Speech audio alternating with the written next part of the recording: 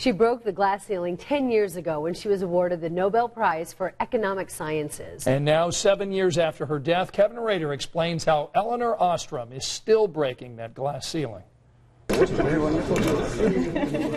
was 10 years ago this month. Elinor Ostrom, a political science professor at IU, became the first woman to win a Nobel Prize for Economic Sciences. Yes, I appreciate that this is an honor to be the first woman, but I won't be the last. She confronted a glass ceiling after graduating from UCLA and then shattered it at Indiana University.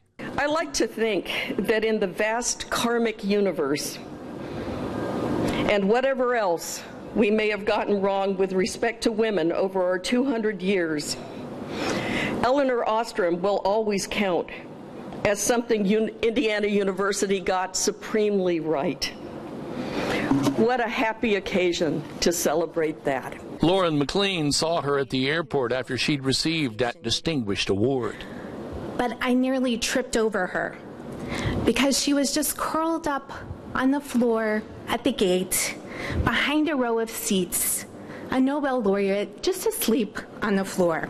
Now, some seven years after her death, as IU dedicates a historical marker in her honor, she breaks yet another glass ceiling as the university unveiled a picture of her statue that will someday grace the front of Woodburn Hall.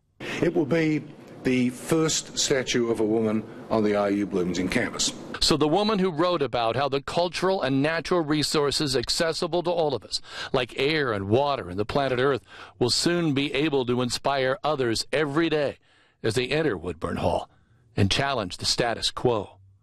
In Bloomington, Kevin Rader, Channel 13, Eyewitness News.